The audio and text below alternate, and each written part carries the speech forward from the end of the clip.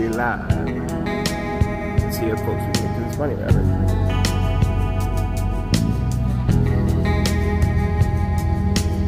Hey, cutie.